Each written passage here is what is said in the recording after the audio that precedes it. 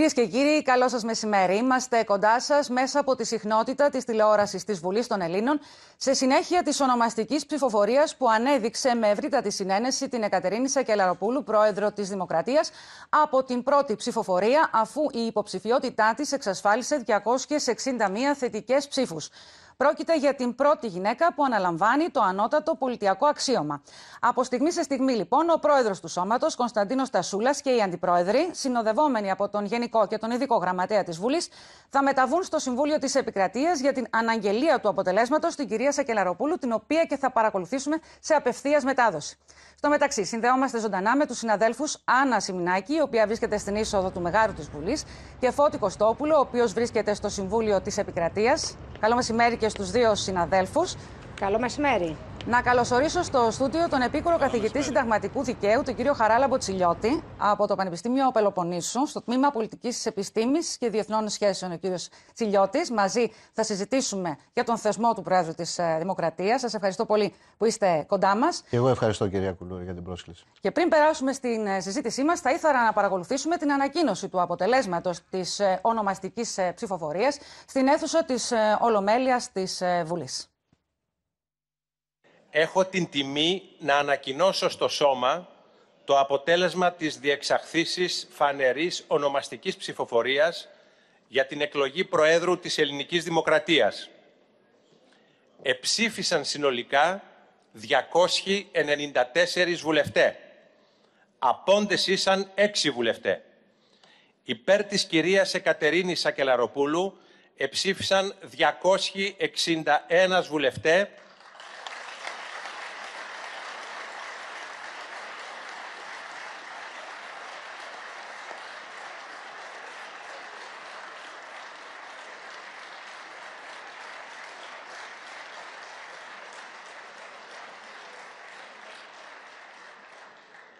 ενώ 33 βουλευτές ψήφισαν παρόν. Εκ του ανακοινοθέντος αποτελέσματος διαπιστώνεται ότι σύμφωνα με το άρθρο 32 παράγραφος 3 του Συντάγματος πρόεδρος της Δημοκρατίας εκλέγεται η κυρία Εκατερίνη Σακελαροπούλου.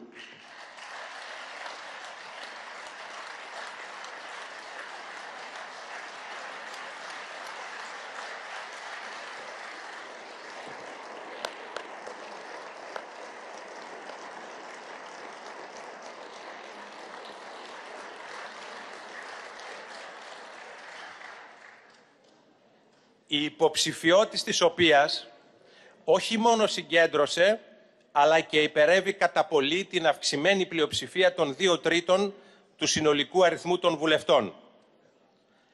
Κυρίες και κύριοι συνάδελφοι, ζητώ την έγκριση της Βουλής, όπως το Προεδρείο, εξ ονόματος ολοκλήρου του σώματος, επισκεφθεί την εκλεγήσα Πρόεδρο της Δημοκρατίας για να της αναγγείλει το αποτέλεσμα της ψηφοφορίας και την εκλογή της. Η Βουλή ενέκρινε.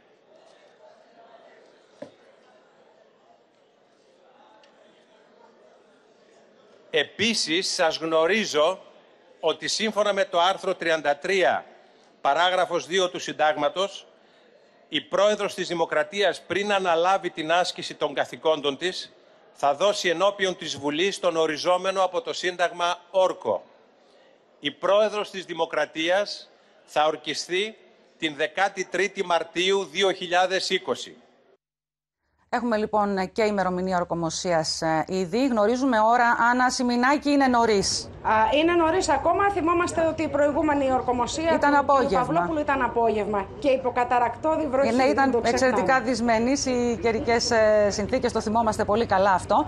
Έχουμε λοιπόν πρόεδρο της Δημοκρατίας για πρώτη φορά γυναίκα. Από την πρώτη ψηφοφορία. 200 ψήφους ε, απαιτεί η πρώτη ψηφοφορία. Έχουμε 261 ψήφους. Έχουμε και κάποιες απουσίες, Άννα, δικαιολογημένες. Ήταν αυτές οι απουσίες; Έχουμε απουσίες πρώτα απ' όλα με τον, από τον πρώην Πρωθυπουργό, τον κύριο Αντώνη Σαμαρά, ο οποίος εδώ και ημέρες έχει γνωστοποιήσει, βρίσκεται σε προσωπικό ταξίδι πενθήμερος στις Ηνωμένες Πολιτείες. Απέστειλε επιστολή ο κύριος Σαμαράς, με την οποία γνωστοποιεί ότι αν ήταν παρόν θα υπερψήφιζε την πρόταση του κόμματο. Δεν προσμετράται ωστόσο αυτή. Όχι, γιατί είναι προσωπικό ταξίδι. Mm-hmm. Απόντες είχαμε από το ΣΥΡΙΖΑ. Ήταν ο βουλευτής κύριος Τρίφων Αλεξιάδης για λόγους υγείας.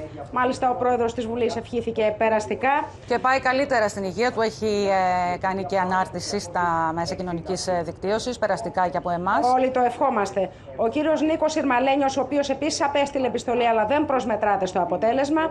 Ο κύριος Κώστας Ζηράρης του ΣΥΡΙΖΑ, ο οποίος δεν έχει στείλει επιστολή, όμως κοινοβουλευτικές πηγές του κόμματός τους, του κόμματός του επεσήμαναν ότι έχει κάποιο κινητικό πρόβλημα και δεν μπόρεσε να έρθει. Ο βουλευτής του ΣΥΡΙΖΑ, Αλέξανδρος Μεϊκόπουλος, είχε μια ατυχία με το αυτοκίνητό του. Mm-hmm. Ε, καθυστέρησε Δύο να φτάσει. ατυχίες είχαμε με αυτοκίνητο σε αυτή την ψηφοφορία, Άννα. ναι, κάτι μας κάνουν σήμερα τα αυτοκίνητα και βουλευτής της Νέας Δημοκρατίας ε, της Περιφέρειας Πυραιός ειδοποίησε τον πρόεδρο της Βουλής ότι έχει πρόβλημα με το αυτοκίνητό του, βρισκόταν στο δρόμο, κατάφερε όμως να φτάσει. Mm-hmm. Ε, ο κ. Με... Μεϊκόπουλος έφτασε τελικά, δεν πρόλαβε όμως να ψηφίσει. Δεν πρόλαβε τη διαδικασία, αυτό είναι αλήθεια. Είχε γίνει και η ανάγνωση του καταλόγου ε, των απόντων, mm-hmm. δεν πρόλαβε. Είχαμε και δύο επιστολικές ε, ψήφους, οι οποίες προσμετρώνται. Ακριβώς ήταν οι βουλευτές του ΣΥΡΙΖΑ Γιώργος Κατρούγκαλος και Γιάννης Αμανατίδης που βρίσκονται σε ε, αποστολή της Βουλής στο εξωτερικό και μία απουσία από το κόμμα Μέρα 25, η κυρία Κωνσταντίνα Αδάμου, με επιστολή της ε, γνωστοποίησε ότι έχει γίνει πρόσφατα μητέρα και ταλαιπωρείται και από μία ίωση και δεν μπόρεσε να παρίσταται στην σημερινή ψηφοφορία. Ούτως ή άλλως το, το Μέρα 25 δεν θα στήριζε την υποψηφιότητα, mm-hmm. είχαν εκφραστεί. Αν ψήφιζαν όλοι και από τα τρία κόμματα θα ήταν 260 έξι οι ψήφοι, σύμφωνα με το άθροισμα των ε, τριών ε, κοινοβουλευτικών ομάδων που είχαν δηλώσει ότι θα στηρίξουν την υποψηφιότητα της ε, κυρίας Σακελαροπούλου. Είχαμε και 33 παρόν, γιατί η διαφωνία εκφράζεται με παρόν στην ψηφοφορία, έτσι. Δεν υπάρχει, όχι. Η διαδικασία της ψηφοφορίας και από παλαιότερες βέβαια περιπτώσεις που είχαμε δύο υποψηφίους για Προέδρους της Δημοκρατίας. Η διαδικασία είναι λοιπόν να σηκώνεται ο βουλευτής και να λέει το όνομα του υποψηφίου που προτιμάς. Στη συγκεκριμένη περίπτωση είχαμε μία υποψηφιότητα. Και η απόρριψη, εν πάση περιπτώσει, η διαφωνία εκφράζεται με τη λέξη παρόν. Δεν υπάρχει όχι στην ψηφοφορία για Πρόεδρο Δημοκρατίας. Άννα, πριν πάω στον Φώτη Κωστόπουλο, να παρακολουθήσουμε τι δήλωσε ο Πρωθυπουργός ε, μετά την ε, ανακοίνωση του αποτελέσματος. Σήμερα είναι μια σπουδαία, μια όμορφη, μια τη μέρα για την ε, ελληνική δημοκρατία, για τη Βουλή, για το πολίτευμά μας. Ε, η Εθνική Αντιπροσωπεία ε, εξέλεξε με πολύ μεγάλη πλειοψηφία πρώτη γυναίκα πρόεδρο της ελληνικής δημοκρατίας, την κυρία Κατερίνη Σακελαροπούλου, μια σπουδαία νομικό, μια σπουδαία δικαστή, μια προσωπικότητα η οποία ενώνει όλες τις Ελληνίδες και όλους τους Έλληνες. Από την πρώτη στιγμή που ξεκίνησε αυτή η διαδικασία είχα πει ότι θα επιδιώξω να προτείνω ένα πρόσωπο το οποίο θα συμβολίζει την ενότητα του ελληνικού έθνους. Ε, και χαίρομαι που το αποτέλεσμα της σημερινής ψηφοφορίας επιβεβαίωσε ότι στα μεγάλα μπορούμε τελικά να συμφωνήσουμε. Η νέα Ελλάδα, η οποία ξημερώνει, μπαίνει σε μια νέα εποχή με πρώτη γυναίκα πρόεδρο της ελληνικής δημοκρατίας την κυρία Κατερίνη Σακελαροπούλου. Σήμερα άνοιξε ένα παράθυρο στο μέλλον και καθώς η χώρα μας εισέρχεται πιο αισιόδοξη στην τρίτη δεκαετία του 21ου αιώνα αποκτά για πρόεδρο της Δημοκρατίας ένα πρόσωπο που συμβολίζει ακριβώς αυτήν την μετάβαση στη νέα εποχή. Θέλω και πάλι να ευχηθώ στην κυρία Σακελαροπούλου καλή επιτυχία στα καθήκοντά της και με οδηγό το Σύνταγμα είμαι σίγουρος ότι θα συνεργαστούμε αποτελεσματικά προς όφελος πάντα της πατρίδας μας. Μήνυμα ενότητας λοιπόν από τον Κυριάκο Μητσοτάκη. Θα ήθελα το δικό σας ε, σχόλιο, κύριε καθηγητά, κύριε Τσιλιώτη, γιατί τι σημαίνει, τι συμβολίζει. Έχουμε για πρώτη φορά εκλογή γυναίκας στο είπα του αξίωμα, πολιτιακό αξίωμα. Και βέβαια τι συμβολίζει και το αποτέλεσμα της ψηφοφορίας από την πρώτη ψηφοφορία. Ναι. Ε, δεν υπάρχει αμφιβολία ότι η εκλογή της κυρίας Ακυραροπούλου στο αξίωμα του Πρόεδρου της Δημοκρατίας ε, είναι ένας ε, νεοτερισμός ε, πολιτικού κυρίως περιεχομένου ότι έχουμε για πρώτη φορά γυναίκα στο αξίωμα αυτό, όπως επίσης η ίδια ήταν και η πρώτη γυναίκα στο αξίωμα του Προέδρου του Συμβουλίου της Επικρατείας. Της Επικρατείας, ναι. Ε, άρα λοιπόν ε, έχει δύο πρωτιές η κυρία Σακελαροπούλου. Ε, αυτό είναι οπωσδήποτε ένα θέμα υψηλού Και το μήνυμα που στέλνει η Βουλή και, ως και σώμα. Ε, το μήνυμα είναι ότι ε, εκλέγεται από την πρώτη ψηφοφορία με ευρεία Αυτό είναι πολύ σημαντικό. Στο πρόσωπό της ομονόησαν ε, τρία κόμματα, ε, τα δύο μεγαλύτερα, τα τρία ε, είναι πάρα πολύ σημαντικό αυτό. Ε, πρώτον, διότι δίνει το μήνυμα ότι ε, μπορεί να εκφράσει την ενότητα του έθνους και τον υπερκομματικό χαρακτήρα του αξιώματος, όπως προβλέπεται από το Σύνταγμα και όπως το άσκησαν και οι προηγούμενοι πρόεδροι της Δημοκρατίας. Ε, αφετέρου δε, ότι θα μπορέσει, θα έχει μια παρακαταθήκη για να ασκήσει με ανάλογο τρόπο τα καθήκοντά της. Όλα αυτά ναι. βέβαια θα φανούν και στην πορεία. Ε, Εμείς ε, δεν μας μένει τίποτα άλλο από το να της ευχηθούμε καλή επιτυχία. Εγώ προσωπικά που την γνωρίζω κιόλας, ε, την, είχα την ευκαιρία να συνεργαστώ παλαιότερα ε, σε μια επιστημονική εκδήλωση. Mm Της εκφράζω ολόθερμα ε, τις ευχές μου για καλή επιτυχία και νομίζω ότι πρέπει να έχει και τις ευχές όλου του ελληνικού λαού. Προφανώς και εμείς να πάμε στο Συμβούλιο της Επικρατείας για να μιλήσουμε με το Φώτη Κωστόπουλο επί του διαδικαστικού. Ε, τι περιμένουμε δηλαδή, σε λίγη ώρα θα ξεκινήσει ε, η υπομπή από την ε, Βουλή, από το Μέγαρο της Βουλής για να έρθει στο Συμβούλιο της Επικρατείας. Φώτη, ο λόγος σε σένα. Καλό μεσημέρι, Αλεξία. Καλό μεσημέρι, κυρίες και κύριοι. Πράγματι, όπως είπες και εσύ, Αλεξία, σε λίγα λεπτά αναμένεται να φτάσει εδώ ο πρόεδρος της Βουλής, ο κ. Κωνσταντίνος Τασούλα, συνοδευόμενος από τους αντιπροέδρου του σώματος, το Γενικό Γραμματέα και τον Ειδικό Γραμματέα της Βουλής προκειμένου να αναγγείλουν το αποτέλεσμα της διεξαχθήσης ψηφοφορίας για την ε, θέση του Προέδρου της Δημοκρατίας, την ε, κυρία Σακελαροπούλου. Νομίζω, Αλεξία, ότι είναι μια συμβολική μέρα, μια πολύ σημαντική μέρα και για τους δύο θεσμούς και για το θεσμό της δικαιοσύνης αλλά και για το θεσμό της Προεδρίας Δημοκρατίας. Η πρόεδρος του Συμβουλίου της Επικρατείας, η κυρία Εκατερίνη Σακελαροπούλου, εξελέγει ως η πρώτη γυναίκα πρόεδρος της Ελληνικής Δημοκρατίας και το αποτέλεσμα αυτό, όπως είπαμε, αναμένεται να της το ανακοινώσει ε, βάσει των ε, θεσμικών ιωθώτων ο πρόεδρος της Βουλής, ο κύριος Στασούλα, στο γραφείο της εδώ στο Συμβούλιο της Επικρατείας. Έχουμε πληροφορηθεί ότι και οι οκτώ αντιπρόεδροι συνοδεύουν τον ε, κύριο Τασούλα σε αυτή τη διαδικασία, ενώ θα έχουμε την προσφώνηση από τον πρόεδρο της ε, Βουλής και την αντιφώνηση από την ε, νέα πρόεδρο της ε, Δημοκρατίας, η οποία θα αναλάβει στις 14 Μαρτίου τα καθήκοντά της. Διαδεχόμενη τον. Να πούμε εδώ, Αλεξία, ότι όπως πληροφορηθήκαμε, έχει ήδη ε, έρθει σε επικοινωνία μαζί της ο απερχόμενος πρόεδρος της Δημοκρατίας, ο κ. Προκόπης Παυλόπουλος. Την έχει συγχαρεί για το αποτέλεσμα, της έχει ευχηθεί κάθε επιτυχία για το έργο της. Μάλιστα. Ε, Φώτη, μένεις εκεί, θα είμαστε συνέχεια σε επικοινωνία. Στο μεταξύ, να δούμε τις ε, δηλώσεις που έκανε και ο πρόεδρος της Ελληνικής ε, Λύσης, ο κύριος ε, Κυριάκος Βελόπουλος, μετά την ε, ψηφοφορία, η οποία είναι ονομαστική φανερή. Θα το πούμε και αυτό σε λίγο εδώ με τον κύριο Τσιλιώτη. Η ελληνική λύση συνεπεί στις απόψεις της, κυρίως για τι συντάξει και τους μισθούς, αλλά και για τα εθνικά θέματα, ουσιαστικά δεν συνένεσε στην πρόταση της Νέας Δημοκρατίας για την κυρία Σακελαροπούλου. Σεβόμαστε το θεσμό, της ευχόμαστε καλή επιτυχία στο έργο της και μια παράκληση. Όταν και εφόσον ορκιστεί, να ορκιστεί με θρησκευτικό όρκο. Μάλιστα, αυτά από τον κύριο Βελόπουλο. Οι πληροφορίες είναι ότι θα ορκιστεί με θρησκευτικό όρκο ε, η κυρία Σακελαροπούλου. Μένει να το δούμε, κύριε Τσιλιώτη, αλλά θα ήθελα να μας εξηγήσετε τι προβλέπετε από το Σύνταγμα αναφορικά με τον όρκο του Πρόεδρου της Δημοκρατίας. Ναι. Ε, ο όρκος του Πρόεδρου της Δημοκρατίας ε, προβλέπεται στο άρθρο 33 ε, του Συντάγματος. Και είναι θρησκευτικός όρκος. Mm-hmm. Ο Πρόεδρος της Δημοκρατίας ε, ε, ομνεί στο όνομα της Αγίας Ομοσίου και Διαιρέτου Τριάδος ε, η οποία αναφέρεται και στο προήμιο του συντάγματος. Ε, ανάλογος είναι και ο όρκος των βουλευτών κατά το άρθρο 59 ε, του συντάγματος και το 3 του κανονισμού της Βουλής. Τώρα, ε, βεβαίως, όπως προκύπτει ξεκάθαρα από το γράμμα του συντάγματος, ο όρκος πρέπει να είναι ε, θρησκευτικός. Όμως... Και έχει ξεκαθαριστεί ότι θα είναι θρησκευτικός στην ε, παρούσα περίπτωση. Ωστόσο, να εξηγήσουμε λοιπόν, τι γίνεται στο ζήτημα της ερμηνείας. Θεωρητικά, ναι. αν η κυρία Σακελαροπούλου δεν δεχόταν να ορκιστεί με θρησκευτικό όρκο ε, ή αν ανακύψει ε, ανάλογο θέμα στο μέλλον. Έτσι.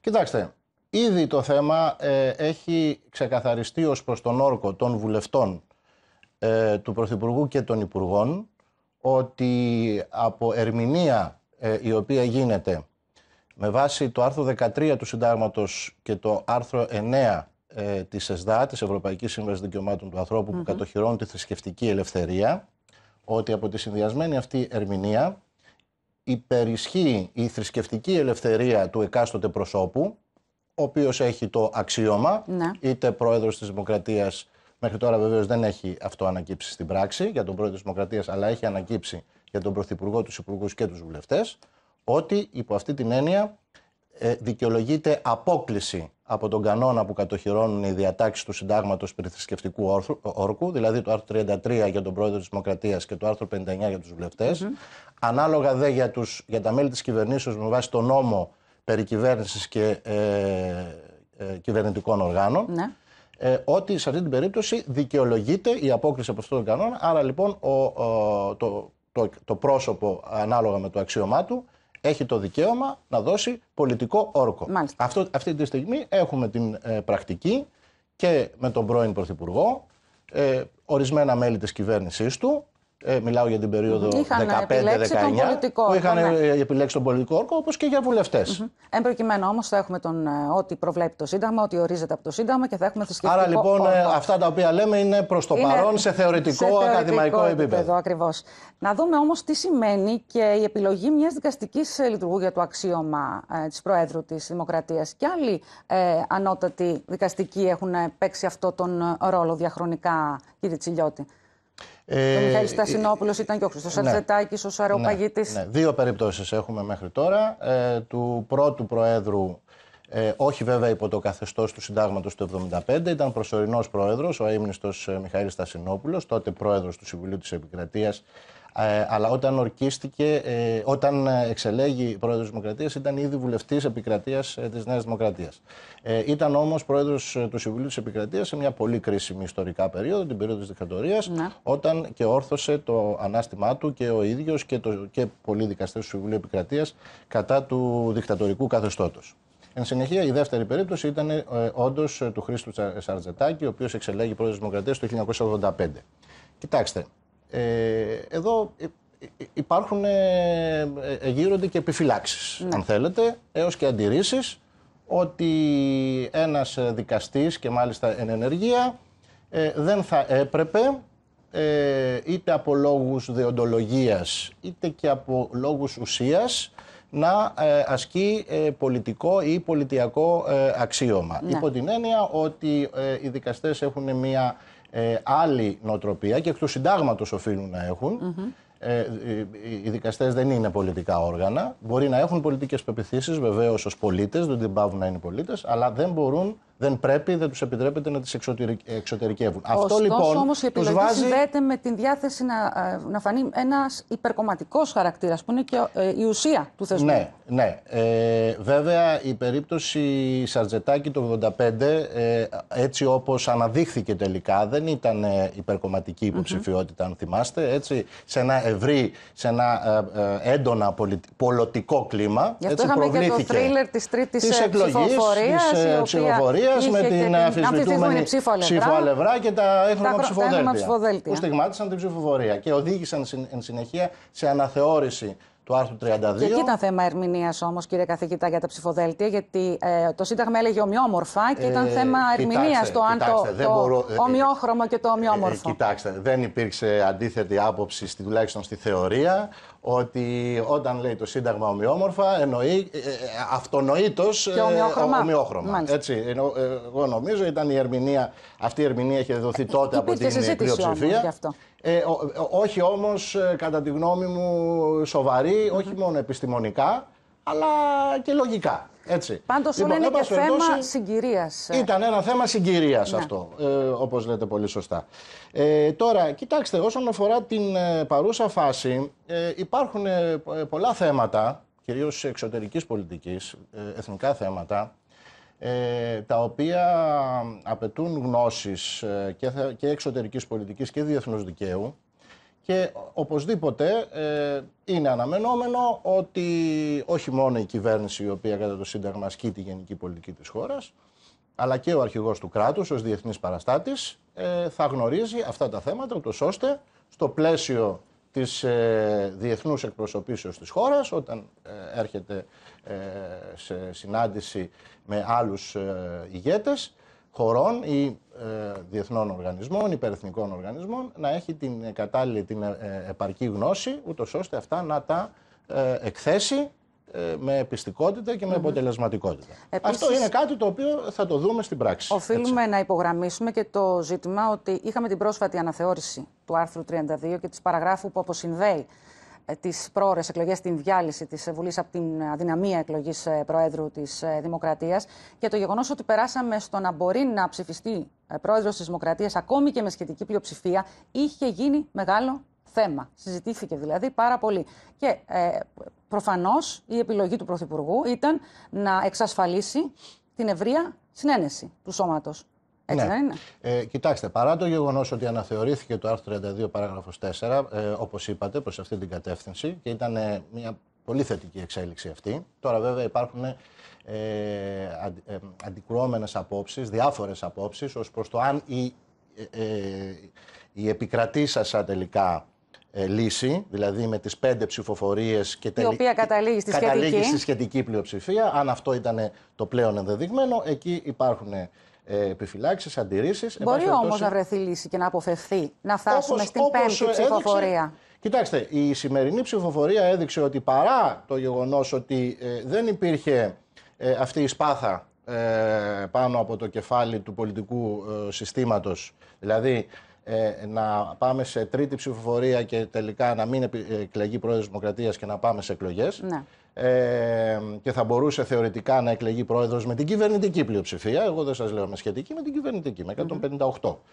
Ε, Παρ' όλα αυτά, όπως είδαμε, ε, ε, είχαμε το ευχάριστο γεγονός η πρόεδρος της Δημοκρατίας να εκλεγεί με αυτή την ευρεία πλειοψηφία. Άρα λοιπόν είναι σε... θέμα του πολιτικού συστήματος. Ναι. Πώς θα χειριστεί αυτή Έχει ξεκινήσει ήδη ο πρόεδρος της Βουλής, ο κύριος Τασούλας συνοδευόμενος, ε, όπως βλέπω, από τον ε, Γενικό Γραμματέα της Βουλής, τον ε, κύριο Μιλονάκη και τον Ειδικό Γραμματέα της Βουλής, τον κύριο Μπαγιόκο, είναι στην έξοδο του Μεγάρου της Βουλής, προκειμένου να μεταβεί στο Συμβούλιο της Επικρατείας για την ανακοίνωση του αποτελέσματος της φανερής ονομαστικής ψηφοφορίας, γιατί ήταν ε, μυστική μέχρι το 85.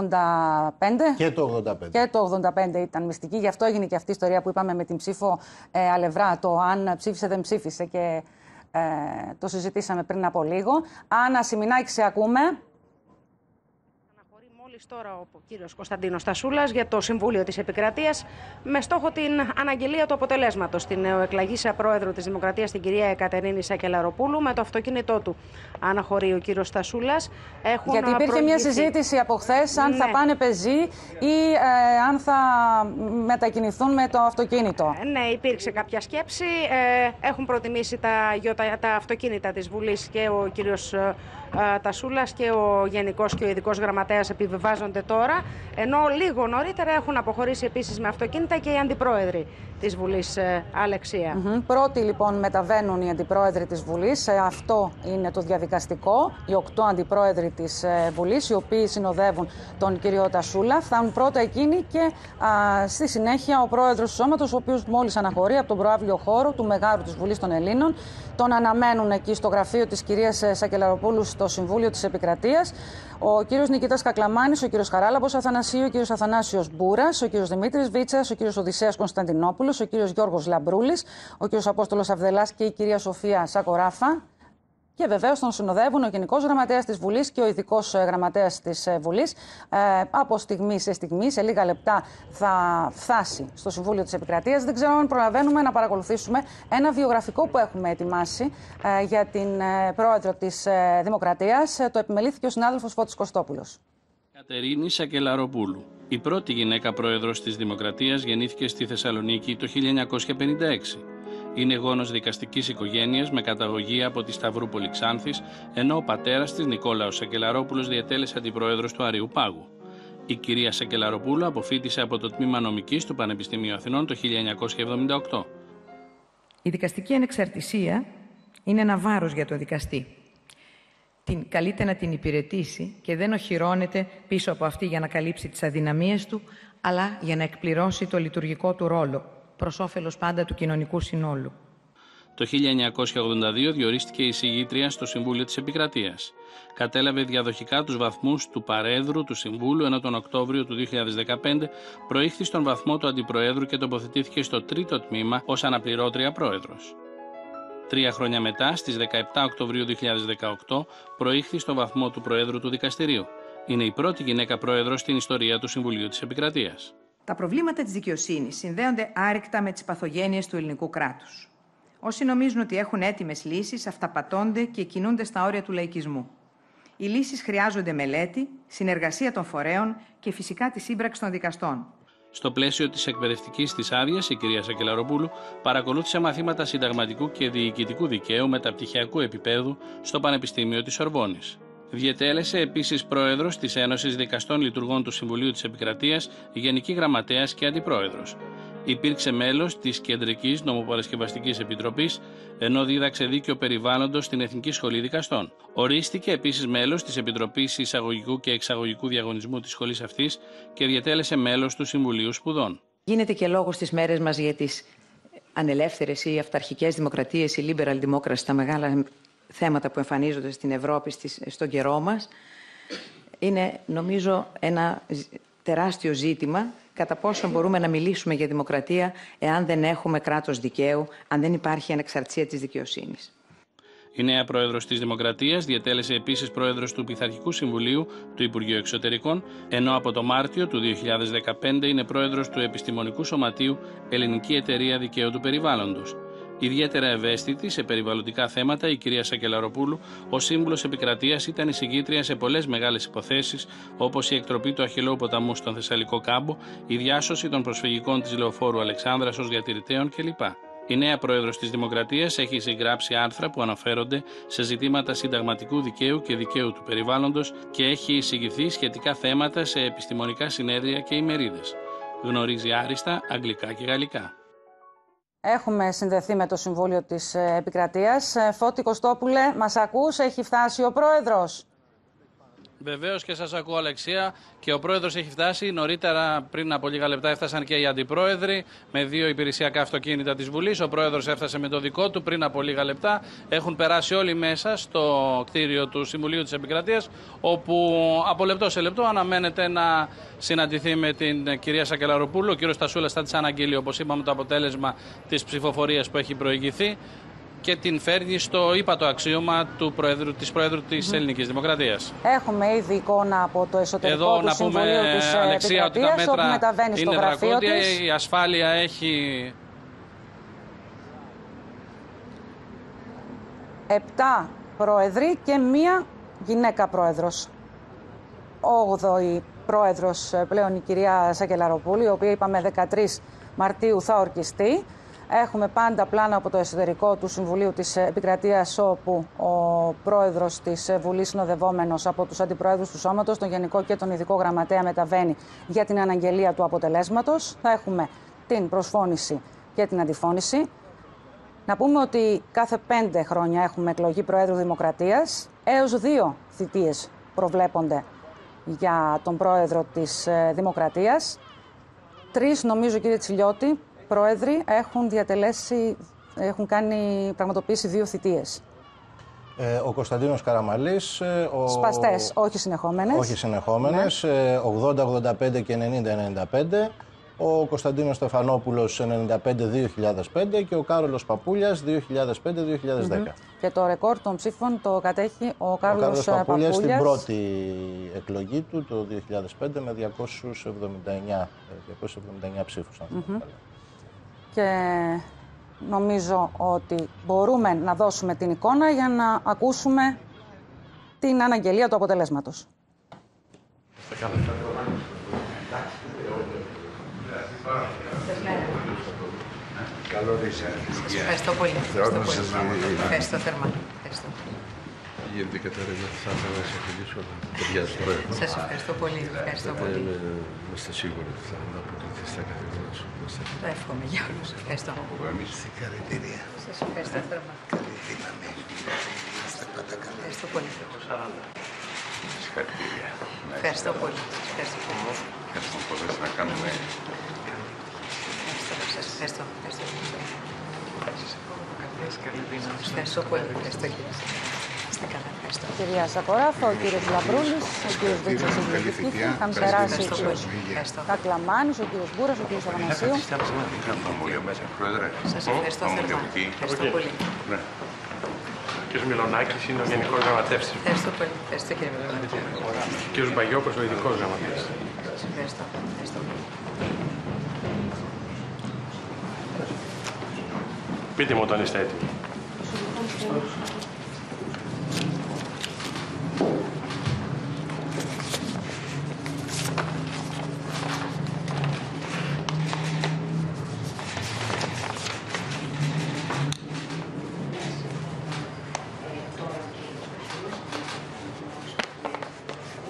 Εντάξει.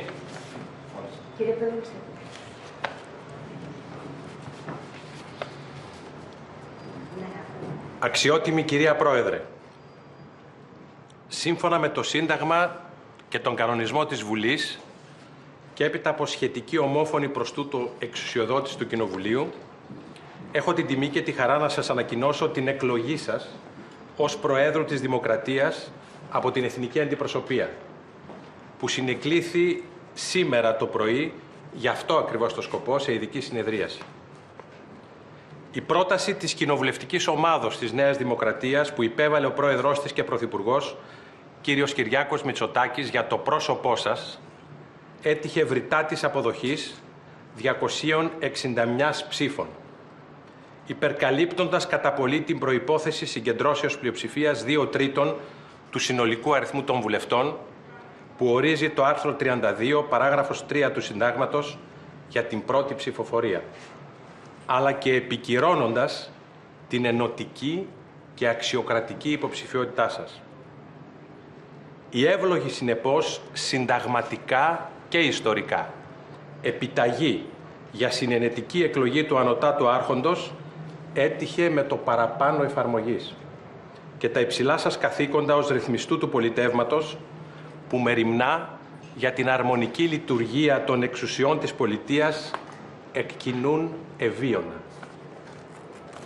Σας ανακοινώνω την πανηγυρική και με συντριπτική πλειονοψηφία εκλογή σας στο γραφείο σας. Στο γραφείο της Προέδρου του Συμβουλίου της Επικρατείας. Ενός δικαστηρίου για το οποίο ο αείμνηστος Μιχαήλ Στασινόπουλος, πρώτος πρόεδρος της Τρίτης Ελληνικής Δημοκρατίας και διατελέσας επίσης πρόεδρος του αυτού δικαστηρίου, έγραψε πως εδημιούργησε μια νέα εποχή εις των δημόσιων βίων της χώρας. Αυτή τη νέα εποχή απηχεί πλήρως η κατεύθυνση που έδωσε ο Ελευθέριος Βενζέλος, ομιλών το Μάιο του 1929, επευκαιρία της ενάρξεως των εργασιών του Συμβουλίου της Επικρατείας. Θέσατε υπέρ των Υπουργών των νόμων διότι ο νόμος πρέπει να είναι ανώτερος και του μικρού υπαλλήλου και του ανωτέρου, ανώτερος πασών των αρχών, ανώτερος και του Υπουργού και του Βασιλέως ακόμη, αν πρόκειται το έργο της ανορθώσεως να διεξαχθεί μέχρι τέλους επιτυχώς. Προερχόμενοι συνεπώς από αυτή την πολιτιακή κοιτίδα της δικαιοσύνης, έχετε ήδη αποδείξει με την αυτοδημιούργητη πορεία σας πως διαθέτετε το θεσμικό παράστημα ώστε να ανταποκριθείτε πλήρως στις ευθύνες του αξιώματος που μόλις προολίγου η Βουλή των Ελλήνων σας ανέθεσε. Ρυθμιστής του πολιτεύματος και εκφραστής της ενότητος του έθνους που καλείται να εκπέμψει θετικά και γόνιμα μηνύματα στο εσωτερικό και εθνική αξιοπρέπεια στο εξωτερικό. Στο εσωτερικό όπου ξεκίνησε μια πορεία εμπέδωσης κανονικότητος και προκοπής και στο εξωτερικό, όπου η όξυνση της εξανατολών προκλητικότητος απαιτεί σφυριλάτηση τόσο της εθνικής ενότητος, όσο και της αποτρεπτικής μας ισχύως. Ο δεύτερος πρόεδρος της Τρίτης Ελληνικής Δημοκρατίας, αείμνηστος Κωνσταντίνος Τσάτσος, έγραψε μετά τη θητεία του στην Προεδρία. Χρειάστηκε να γίνω πρόεδρος της Δημοκρατίας για να ανακαλύψουν οι συμπατριώτες μου ότι ξέρω να γράφω. Και αυτό περιορίζονται και γι' αυτό περιορίζονται μόνο στα διαγγέλματά μου. Τέτοιο ευπρεπές παράπονο δεν θα υπάρξει από εσά. Ήταν τόσο θετικό το κλίμα που δημιουργήθηκε μετά την πρωθυπουργική πρόταση που ακόμη και όσοι δεν σας γνώριζαν ήδη έχουν πληροφορηθεί πολλά για την πανάξια δικαστικό λειτουργό που στο πρόσωπό της τιμάται τόσο η δικαιοσύνη όσο και η σύγχρονη Ελληνίδα και που στο πρόσωπό της επίσης επαληθεύεται μία αριστοτελική περιγραφή του τετάρτου βιβλίου των πολιτικών για τις νομοκρατούμενες πολιτείες. Εν μεν γάρ τες κατανόμων δημοκρατούμενες πολιτείες ου γίνεται δημαγωγός, αλλά η βέλτιστη των πολιτών η συν εν προεδρία. Γιατί όταν, λέει ο Αριστοτέλης, οι δημοκρατίες στηρίζονται στον νόμο, δεν νοείται να υπάρχει δημαγωγός και διευθύνουν τα κοινά οι καλύτεροι από τους πολίτες. Η Ελλάς στις αρχές της τρίτης δεκαετίας του 21ου αιώνα διεκδικεί βάσιμα και αποφασιστικά τη θέση της στο σύγχρονο προηγμένο κόσμο, έχοντας για πρώτη φορά μια Ελληνίδα στο υψηλότερο σκαλί της πολιτείας. Και κατά τον ποιητή, εις το σκαλί για να πατήσεις τούτο, πρέπει με το δικαίωμά σου να είσαι πολίτης εις των ιδεών την πόλη. Και δύσκολο στην πόλη εκείνη είναι και σπάνιο να σε πολιτογραφήσουν. Στην αγορά της βρίσκεις νομοθέτας που δεν γελά κανένας στοιχοδιώκτης. Και από αυτό το κορυφαίο σκαλί θα εκπροσωπήσετε την ελληνική δημοκρατία στον μεγάλο εορτασμό της συμπληρώσεως δύο αιώνων από την Ελληνική Επανάσταση του 1821. Έναν εορτασμό που θα κάνουμε με τους στοχασμούς μας γόνιμα στραμμένους ο πίσω, προς τα ιδρυτικά χρόνια του κράτους μας, αλλά και με το βλέμμα μας στραμμένο μπροστά, σε ένα αισιόδοξο μέλλον που ήδη οικοδομείται από τους Έλληνες και τις Ελληνίδες. Μετά την επάξια εκλογή σας, εύχομαι από καρδίας αντάξιά της θητεία σας για το καλό του έθνους και του λαού μας. Ξέρετε κύριε Πρόεδρε της Βουλής, σας ευχαριστώ θερμά για το μήνυμα που μου μεταφέρετε και τα ευγενικά λόγια με τα οποία το συναδεύετε. Παρακαλώ να διαβιβάσετε στη Βουλή των Ελλήνων τις ευχαριστίες μου για την τιμή που επιφυλάσσει το πρόσωπό μου και τη διαβεβαίωση ότι έχω πλήρη συνείδηση του βάρους που επομίζομαι και του χρέους που αναλαμβάνω. Δεσμεύομαι ότι θα ασκήσω τα καθήκοντά μου μέσα στο πλαίσιο που περιγράφει το Σύνταγμα και σε συνεργασία με το Κοινοβούλιο, την κυβέρνηση, τα κόμματα της αντιπολίτευσης, επιδιώκοντας τη μέγιστη δυναστή συνένεση, εγγύηση για την ομαλή λειτουργία της δημοκρατίας. Η χώρα μας, ένα σύγχρονο κράτος δικαίου και από πολλά χρόνια μέλος της Ευρωπαϊκής Ένωσης, αποτελεί παράγοντα σταθερότητας, ανάπτυξης, πολιτισμού και δημοκρατίας στην ευρύτερη περιοχή. Απαραίτητη προϋπόθεση για την διατήρηση και βελτίωση της θέσης αυτής είναι η διασφάλιση της εδαφικής ακαιρεότητας και των κυριαρχικών της δικαιωμάτων. Δεν παραγνωρίζω τις δύσκολες συνθήκες που επικρατούν σε παγκόσμιο επίπεδο και τις αντίστοιχες προκλήσεις του 21ου αιώνα, στις οποίες περιλαμβάνονται η οικονομική κρίση, η κλιματική αλλαγή, η μαζική μετακίνηση πληθυσμών και η συνεπακόλουθη ανθρωπιστική κρίση, η υποχώρηση του κράτους δικαίου και οι κάθε είδους ανισότητες και αποκλεισμοί, η αντιμετώπιση των οποίων υπερβαίνει τα όρια των κρατών και απαιτεί διεθνή συνεργασία. Ιδιαίτερα για τη χώρα μας, η εμπέδωση στο κοινωνικό σύνολο ενός κλίματος ηρεμίας, ασφάλειας και εμπιστοσύνης, η οικονομική ανάπτυξη, η αντιστροφή της φυγής των νέων στο εξωτερικό και η προστασία των αδυνάμων αποτελούν προτεραιότητες. Η κινητοποίηση και συνεργασία του ανθρώπινου δυναμικού, η βελτίωση της εκπαίδευσης και του συστήματος υγείας, η προστασία και ανάδειξη του φυσικού και πολιτιστικού περιβάλλοντος, η αξιοποίηση των νέων τεχνολογιών. Και το άνοιγμα της κοινωνίας σε νέες ιδέες και πρωτοβουλίες αποτελούν παράγοντες που θα συντελέσουν σε αυτήν την επίτευξη των στόχων αυτών. Προσβλέπω σε μια κοινωνία που σέβεται τα δικαιώματα όπως αυτά περιγράφονται τόσο στο Σύνταγμά μας, όσο και στον θεμελιώδη χάρτη, στο χάρτη θεμελιωδών δικαιωμάτων της Ευρωπαϊκής Ένωσης και στην Ευρωπαϊκή Σύμβαση Δικαιωμάτων του Ανθρώπου. Μια κοινωνία που στηριζόμενη στη μακρά δημοκρατική της παράδοση, επουλώνει τα τραύματα του παρελθόντος, αντιμετωπίζει τις προκλήσεις του παρόντος και ατενίζει με αισιοδοξία το μέλλον. Για το μέλλον αυτό και την ελπίδα σε αυτό το μέλλον μάλλον, διαβεβαιώνω το Κοινοβούλιο και όλους τους Έλληνες και Ελληνίδες ότι θα δώσω όλες μου τις δυνάμεις για την εκπλήρωση του συνταγματικού μου ρόλου. Να είστε καλά. Και πάλι καλά. Ευχαριστώ θέρμα. Είστε καλά. Ευχαριστώ πάρα πολύ. Να σας δώσω και επισήμως. Είναι μόλις προλίγου αποτελέσματα της ψηφοφορίας. Είναι η ονομαστική φανερή ψηφοφορία η οποία έγινε και, και πίσω είναι η πρόταση του Πρωθυπουργού στο, στο πρόσωπό έτσι για το, το αρχείο. Σας ευχαριστώ πάρα πολύ. Ευχαριστώ κύριε Πρόεδρε. Ωραία.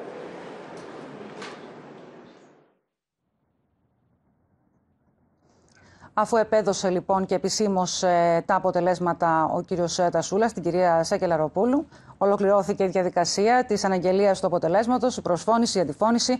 Ακούσαμε τον uh, κύριο Τασούλα να επισημαίνει ότι ήταν ευρύτατη η αποδοχή στο πρόσωπο της uh, κυρίας Ακελαροπούλου, υπερκαλύπτοντας την προπόθεση των δύο τρίτων. Έκανε λόγο για ενωτική και αξιοκρατική υποψηφιότητα. Η θητεία της συμπίπτει με τον εορτασμό για, τα, για την Επανάσταση του 1821, ενώ η κυρία Σακελαροπούλου από την πλευρά της επεσήμανε ποιες είναι οι προκλήσεις που αντιμετωπίζει η χώρα, υπογραμμίζοντας προφανώς, κύριε Τσιλιώτη, το που είναι η διασφάλιση της εδαφική ακαιρεότητας και των κυριαρχικών μας δικαιωμάτων στο πλαίσιο το οποίο βιώνουμε το τελευταίο διάστημα και αναφέρθηκε και σε άλλα μείζωνα ζητήματα όπως είναι η κλιματική αλλαγή, η ανθρωπιστική κρίση, η οικονομική κρίση, οι μετακινήσεις των ε, πληθυσμών, η προστασία των αδυνάμων και ο περιορισμός της ε, φυγής ε, των νέων. Αυτό που λέμε brain drain. Ακριβώς. αυτά είναι τα σύγχρονα προβλήματα τα οποία αντιμετωπίζει και η διεθνής κοινότητα στο σύνολό της και ειδικότερα η χώρα μας σε αυτήν την ε, γωνιά του πλανήτη στην οποία βρισκόμαστε, στο Σταυροδρόμι Τριών Υπήρων, ε, ως μέλος της Ευρωπαϊκής Ένωσης, αυτό το οποίο εξήρε η νοεκλεγήσα πρόεδρος της Δημοκρατίας, ότι η χώρα μας εδώ και δεκαετίες ε, είναι ισότιμο μέλος της Ευρωπαϊκής Ένωσης, είναι στον πυρήνα της διαδικασίας της Ευρωπαϊκής Ολοκλήρωσης. Και παράγον σταθερότητας για την ευρύτερη περιοχή. Και βεβαίως με ε, αναβαθμισμένο τον ε, πολιτικό, γεωπολιτικό και ε, γεωστρατηγικό ε, ρόλο. Βέβαια, δεν ε, λείπουν τα προβλήματα, δεν λείπουν οι κίνδυνοι, οι οποίοι τα τελευταία, τον τελευταίο καιρό είναι ιδιαίτερα αυξημένοι στην περιοχή μας κυρίως όσον αφορά τα κυριαρχικά μας δικαιώματα, αλλά και την ίδια την κυριαρχία, αφισβητήσεις από την ε, γειτονική χώρα όσον αφορά ε, τα κυριαρχικά μας δικαιώματα και την ε, κυριαρχία μας. Ε, νομίζω όμως ότι αυτός είναι ο ρόλος του Πρόεδρου της Δημοκρατίας, ε, συμβολίζονται στην ενότητα του έθνους και στο πλαίσιο του ρυθμιστικού ρόλου που του απονέμει το Σύνταγμα, να ασκήσει τα καθήκοντα με τέτοιο τρόπο, ούτως ώστε τόσο στο εσωτερικό να σφυριλατήσει την ενότητα, όσο και στο εξωτερικό και να αποπέμψει, την, ε, να, να αναδείξει, να ε, ε, καταδείξει ε, την ενότητα αυτή στο εσωτερικό και την ε, προάσπιση των εθνικών mm-hmm. μας ε, δικαίων. Μάλιστα. Πάμε και πάλι στις συνδέσεις μας με τους δύο συναδέλφους, την Άννα Σιμινάκη στο Μέγαρο της Βουλής και τον Φώτη Κωστόπουλο στο Συμβούλιο της Επικρατείας. Φώτη, έχουν αποχωρήσει ο πρόεδρος και οι αντιπρόεδροι. Όχι, Αλεξία, αλλά αναμένεται, όχι Αλεξία, αλλά αναμένεται σε λίγο να περάσουν την έξοδο εδώ Νομίζω ότι αρχίζουν και βγαίνουν τώρα. Θα, τα αυτοκίνητα είναι ήδη αναμένα. Η τροχέα έχει λάβει τα απαραίτητα κυκλοφοριακά μέτρα εδώ στην Οδό Πανεπιστημίου που βρίσκεται το Συμβούλιο της Επικρατείας προκειμένου να παραλάβουν τους ε, τον πρόεδρο της Βουλής, τους λοιπόν, αντιπροέδρου, τον ειδικό και τον γενικό γραμματέα της Βουλή για να επιστρέψουν για στην, στο κοινοβούλιο. Και να ολοκληρωθεί έτσι ουσιαστικά, θα μπορούσαμε να πούμε, Αλεξία, η πρώτη, η πρώτη από τις δύο φάσεις στην ναι. αλλαγή του προσώπου της ε, εκλογής ε, του, της, του Πρόεδρου της Δημοκρατίας. Η δεύτερη θα γίνει, όπως είπες και εσύ στην αρχή της ειδικής αυτής εκπομπής, στις 13 Μαρτίου με την ορκομοσία της κυρίας Ακελαροπούλου στο ΥΠΑ Εμείς βλέπουμε τα πλάνα από την ε, προσέλευση πριν από λίγη ώρα. Παρακολουθήσαμε όλη τη διαδικασία της αναγγελίας. Άνα το βλέμμα μας πλέον στραμμένο στις 13 Μαρτίου και στην λαμπρή αυτή τελετή της ορκομοσίας. Πανηγυρική συνεδρίαση. Θα έχουμε την ορκομοσία της νέας Προέδρου ε, της Δημοκρατίας. Θα ακολουθήσει ε, ε, κατάθεση Στεφάνου στο μνημείο του αγνώστου στρατιώτη με όλες τις τιμές, με την προεδρική φρουρά παρούσα και ακολούθως η παράδοση παραλαβή, η τελετή παράδοσης παραλαβής στο Προεδρικό Μέγαρο. Και εμείς, ε, αφού σας ευχαριστήσω και τους ε, δύο συναδέλφους για τις ε, πληροφορίες για το ρεπορτάζ, θα ήθελα να παρακολουθήσουμε μια αναδρομή στην ιστορία του θεσμού του Προέδρου της Δημοκρατίας στα χρόνια της μεταπολίτευσης, την οποία επιμελήθηκε ο συνάδελφος Γιώργος Γαβαλάς. Ομνίο. Ομνίο. Εις το όνομα της Αγίας και ομούσιας και αδιέρετης Τριάδας. Να φυλάξω το Σύνταγμα και τους νόμους να προστατεύω τα δικαιώματα και τις ελευθερίες των Ελλήνων. Και να υπηρετώ το γενικών συμφέρον και την πρόοδο του ελληνικού λαού. Και την πρόοδο του ελληνικού λαού. Από το 1974 έως σήμερα η τρίτη ελληνική δημοκρατία μετρά 7 άνδρες προέδρους της δημοκρατίας. Ο πρώτος και μάλιστα προσωρινός πρόεδρος της Δημοκρατίας ήταν ο προδικτατορικός πρόεδρος του Συμβουλίου της Επικρατείας Μιχαήλ Στασινόπουλος, ο οποίος εκλέχθηκε με 206 ναι την 18η Δεκεμβρίου του 1974. Η προεδρική θητεία του Μιχαήλ Στασινόπουλου ήταν διακριτική και διήρκεσε έξι μήνες. Στις 20 Ιουνίου του 1975 ο Κωνσταντίνος Τσάτσος εξελέγει από τη Βουλή δεύτερος πρόεδρος της Δημοκρατίας. Βρέθησαν 20 ψηφοδέλτια λευκά. 65 ψηφοδέλτια έφερε το όνομα Παναγιώτης Κανελόπουλος και 210 το όνομα Κωνσταντίνος Τσάτσος να υπηρετώ το γενικό συμφέρον και να υπηρετώ το γενικό συμφέρον και την πρόοδο του ελληνικού λαού. Και την πρόοδο του ελληνικού λαού. Διετέλεσε πρόεδρος της Ελληνικής Δημοκρατίας μέχρι το Μάιο του 1980. Ακολούθως ήταν η σειρά του ίδιου του ιδρυτή της Νέας Δημοκρατίας να καταλάβει το αξίωμα. Ο Κωνσταντίνος Καραμαλής εξελέγει πρόεδρος της Δημοκρατίας δύο φορές. Στις 5 Μαου του 1980 και στις 4 Μαου του 1990. Η πρώτη εκλογή του Καραμαλή δεν ήταν εύκολη, αφού χρειάστηκαν και οι τρεις ψηφοφορίες στις 23, στις 29 Απριλίου και στις 5 Μαου του 1980.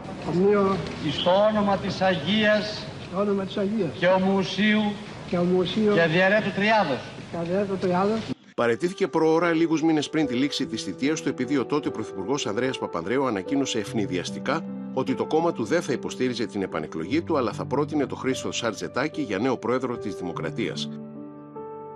Μέχρι να διεξαχθεί η προβλεπόμενη ψηφοφορία χρέη Προέδρου της Δημοκρατίας για 20 μέρες, επιτελούσε ο πρόεδρος της Βουλής Γιάννης Αλευράς. Και η επόμενη διαδικασία εκλογής είχε suspense, με το μοναδικό υποψήφιο Χρήστο Σαρτζετάκη να εκλέγεται οριακά έπειτα από τρεις ψηφοφορίες στι 17, 23 και 29 Μαρτίου του 1985 ο κύριος Αρτσετάκης θα παραμείνει για πέντε χρόνια. Το 1990 ήταν η μοναδική φορά που χρειάστηκαν πέντε ψηφοφορίες. Στις τρεις ψηφοφορίες στις 19 και 28 Φεβρουαρίου και στις 3 Μαρτίου του 1990, κανείς δεν συγκέντρωσε την απαιτούμενη πλειοψηφία. Ακολούθησε πάλι η διάλυση της Βουλής και η προσφυγή στις κάλπες. Ο Κωνσταντίνος Καραμαλής τελικά δέχθηκε να είναι υποψήφιος μετά τις εκλογές και την νίκη της Νέας Δημοκρατίας. Ε, ψήφισαν συνολικά 300 βουλευτές. Υπέρ του κυρίου Κωνσταντίνου Καραμαλή ψήφισαν 153 βουλευτές. Ως πρόεδρος της Βουλής των Ελλήνων, η οποία εκφράζει τη θέληση του κυριάρχου λαού, σας συγχαίρω για την εκλογή σας στο ύπατο αξίωμα της πολιτείας. Έτσι, ο κύριος Αρτζετάκη θα παραδώσει τη σκητάλη στο πρόσωπο από το οποίο την παρέλαβε τον Κωνσταντίνο Καραμαλή, που θα θητεύσει για δεύτερη φορά. Από το 1995 και έπειτα έχουμε τρεις συνεχόμενες δεκαετίες Προέδρων της Δημοκρατίας. Η πρώτη ήταν του Κωστή Στεφανόπουλου, ο οποίος εξελέγει κατά την τρίτη ψηφοφορία. εψήφισαν 300 βουλευτές. Υπέρ του κυρίου Στεφανόπουλου εψήφισαν 181 βουλευτές. Ομνίο εις το όνομα της Αγίας εις το όνομα της Αγίας Ομοσίου και Ομοουσίου και Διερέτου Τριάδος και Αδιαιρέτου Τριάδος. Ο Κωνσταντίνος Στεφανόπουλος ως ο πέμπτος πρόεδρος Δημοκρατίας μετά τη μεταπολίτευση διαδέχθηκε τον Κωνσταντίνο Καραμαλή. Από το 2000 και μετά δεν χρειάστηκαν ξανά περισσότερες από μία ψηφοφορίες. Στις 8 Φεβρουαρίου του 2000 ο Κωνσταντίνος Στεφανόπουλος επανεκλέχθηκε με 269 ψήφους, κάτι που συνέβαινε για πρώτη φορά. Ορκίζομαι εις το όνομα της Αγίας και Ομοουσίου και Αδιαιρέτου Τριάδος στο όνομα της Αγίας και Ομοουσίου και Αδιαιρέτου Τριάδος Ο Κάρολος Παπούλιας που αποτέλεσε πρόταση του Κώστα Καραμαλή και στην πρώτη ψηφοφορία στις 8 Φεβρουαρίου του 2005 εξελέγει πρόεδρος της Δημοκρατίας από τον πρώτο γύρο με 279 ψήφους. Και να υπηρετώ το γενικό συμφέρον και την πρόοδο του ελληνικού λαού. και την πρόοδο του ελληνικού λαού. Άξιος Ο Καρολός Παπούλιας το Φεβρουάριο του 2010 με 266 ψήφους έγινε ο τρίτος πρόεδρος που επανεκλέγεται για δεύτερη θητεία. Κυρίες και κύριοι συνάδελφοι, έχω την τιμή να σας ανακοινώσω ότι ο εξοχότατος πρόεδρος Δημοκρατίας, κύριος Κάρολος Παπούλιας, τον οποίον επανεξέλεξε η Βουλή με την ψήφο της κατά τη συνεδρίαση της 3ης Φεβρουαρίου 2010, θα δώσει τον όρκο που ορίζει το άρθρο 33 παράγραφος 2 του Συντάγματος. Το Φεβρουάριο του 2015 ο Πρωθυπουργός Αλέξης Τσίπρας ανακοινώνει τον υποψήφιο για το αξίωμα του Προέδρου της Δημοκρατίας. Προτείνω στην κοινοβουλευτική μας ομάδα να ψηφίσει αύριο Τετάρτη για Πρόεδρο της Δημοκρατίας τον Προκόπη τον Παυλόπουλο. Υπέρ της υψ- υποψηφιότητας του κυρίου Προκόπη Παυλόπουλου ψήφισαν 233 βουλευτές. Ορκίζομαι Ορκίζομαι εις το όνομα της Αγίας και Ομοουσίου και Αδιαιρέτου Τριάδος εις το όνομα της Αγίας και Ομοούσιας και Αδιέρετης Τριάδας. Ο 7ος πρόεδρος της Δημοκρατίας ανέλαβε τα καθήκοντά του αντικαθιστώντας τον Κάρολο Παπούλια και θα παραμείνει μέχρι τις 13 Μαρτίου.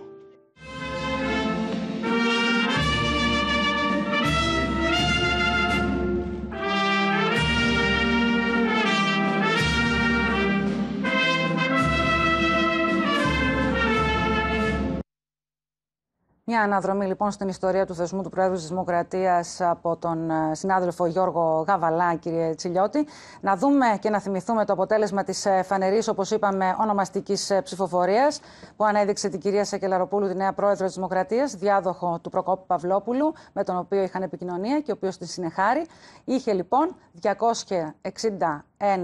υπέρ, παρόν 33, Έξι απουσίες. Τα είπαμε όλα αυτά στο ρεπορτάζ, στο ξεκίνημα αυτής της μετάδοσης. Και κύριε Τσιλιώτη, ποιες είναι οι αρμοδιότητες του Πρόεδρου της Δημοκρατίας; Το Είχε πολίτευμά αυξημένες μας- αρμοδιότητες Ναι. το 75 με το Σύνταγμα, αλλά άλλαξε αυτός στην αναθεώρηση του 86, αν δεν Ακριβώς. κάνω λάθος. Ναι. Ακριβώς.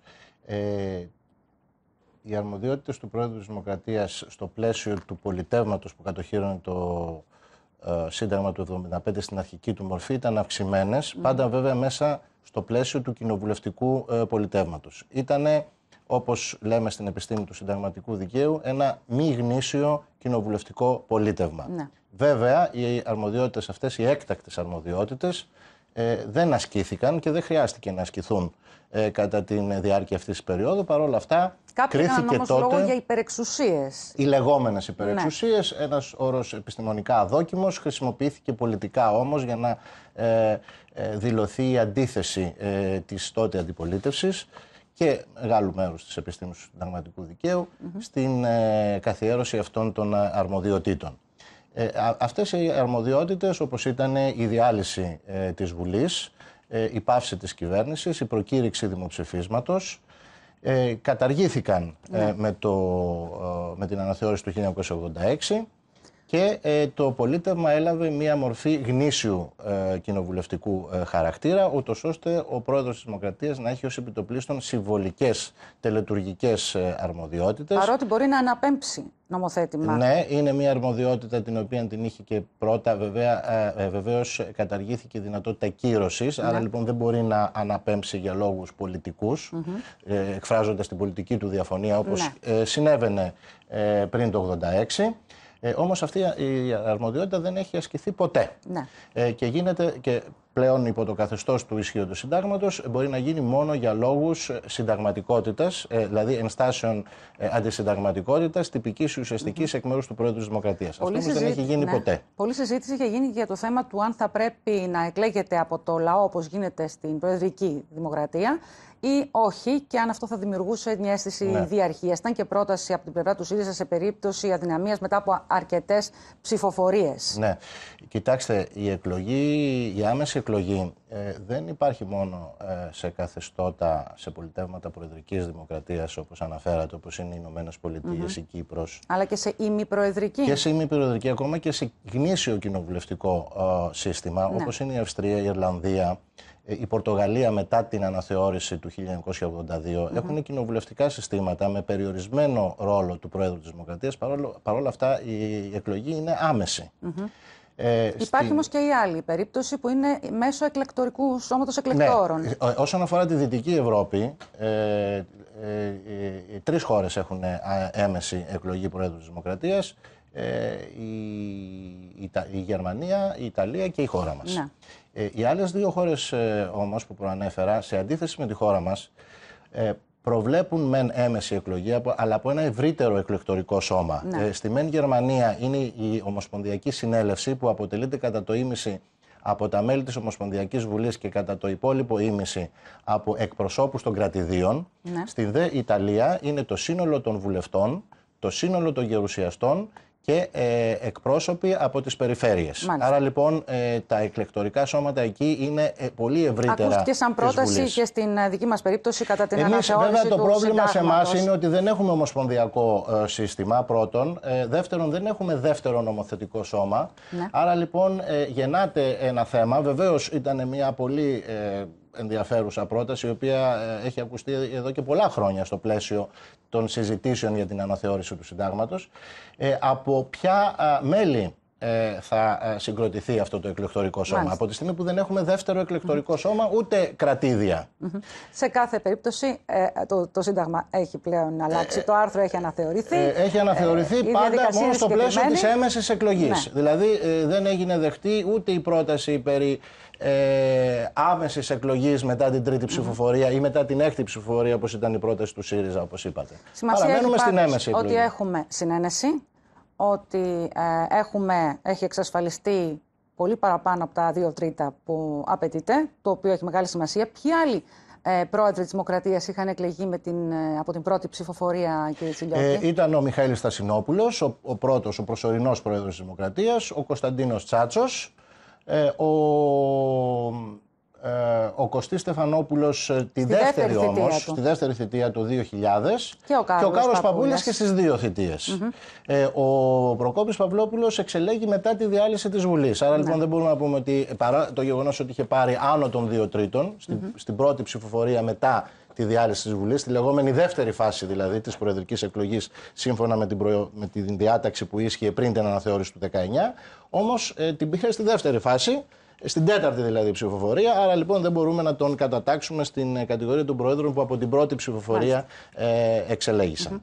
Κύριε Τσιλιώτη, θέλω να σας ευχαριστήσω θερμά για την παρουσία σας εδώ, τη συμβολή σας ε, στην μετάδοση της ε, αναγγελίας του αποτελέσματος της φανερής ονομαστικής ψηφοφορίας προς τη νέα πρόεδρο της Δημοκρατίας. Και εγώ σας ευχαριστώ πολύ. 13 του μηνός, λοιπόν, η ορκομοσία της πρώτης γυναίκας πρόεδρου της Δημοκρατίας, της κυρίας Σακελαροπούλου. Σας ευχαριστούμε που μας παρακολουθήσατε. Καλή συνέχεια.